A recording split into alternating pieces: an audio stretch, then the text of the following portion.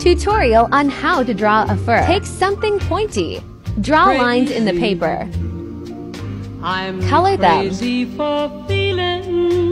Use lighter so color to blend.